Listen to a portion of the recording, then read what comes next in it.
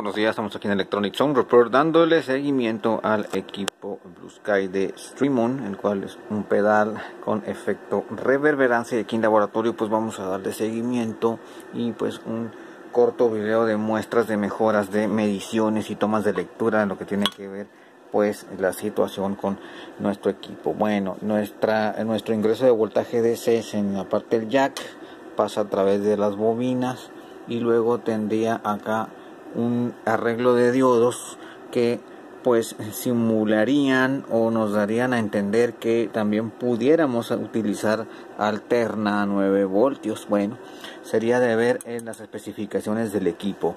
Por otro lado, pues hemos retirado estos componentes ya que pues tenemos corto.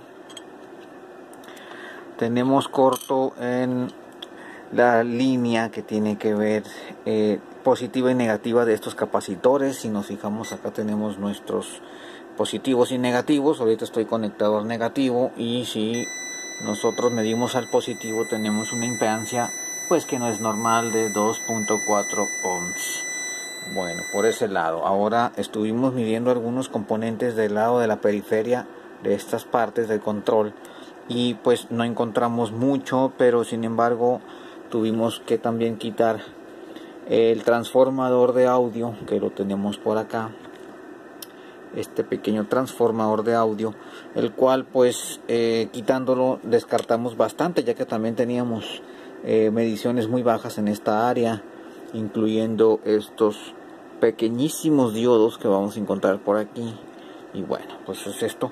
Ahora mm, lo que encontramos como falla tangible es un par de transistores MOSFET el cual yo ya he puesto por aquí lo que viene siendo el esquema y el tipo de dio, eh, semiconductor que es un N-channel 30 voltios en Enhanced Mode el cual es un 3N 34N Drain Gate Drain Source. Y estos los estamos encontrando en esta parte. Déjenme déjenme pasarle los números vamos a ver los números de serigrafía. Es el Q3 y el Q7 bueno el Q3 y el Q7 no se ven nada saludables. Vamos a medirlos. Tenemos este pequeño transistor y este el cual el izquierdo pues en verdad se ve algo chamuscado o algo quemado visualmente. Bueno vamos a medir la impedancia entre negativo y positivo de este entre negativo negativo es este y positivo de este capacitor que ya retiramos tenemos las mismas lecturas bajas y bueno ahora nos vamos a ir a los transistores y vemos que el gatillo está también ciertamente aterrizado. Gatillo vámonos a drenador lo tenemos aterrizado y vámonos a surtidor lo tenemos aterrizado y así por dos. Veamos el surtidor drenador del otro transistor y gatillo. Y esto pues aquí aquí ni en China es normal no tenemos totalmente cruzado esto. Bueno vamos a retirar los componentes. El diodo tiene la nomenclatura 3 4N y pues los están localizados eh, a un lado de nuestro transformador de audio el cual es este que tenemos por acá.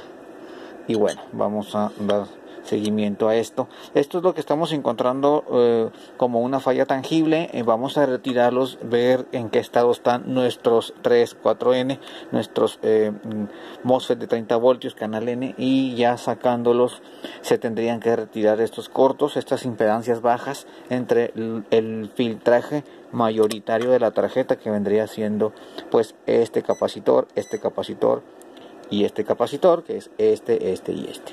Bueno, entonces veamos nada más para recapitular. Vean cómo tenemos de positivo a negativo baja impedancia, 2.3 ohms, 2.3 ohms y aquí ya no los tenemos. Aquí los tuvimos, pero al retirar nuestro transformador, entonces también se retira el corto que nos daba ficticiamente en, en este último de los capacitores que vendría siendo este. Entonces, sospechosos, como comento, veamos, es Q3 y Q7 que vienen siendo eh, diodos, eh, perdón, eh, MOSFETs canal N de 30 voltios, el cual son de ensamble superficial con este la el tipo empacado SOT23. Muy bien, estamos aquí en Electronic Sound Repair, un paso adelante en equipos de cómputo, audio, video, potencia, equipo médico diverso. Estamos en contacto y muy, pero muy buenos días a todos. Muchas gracias.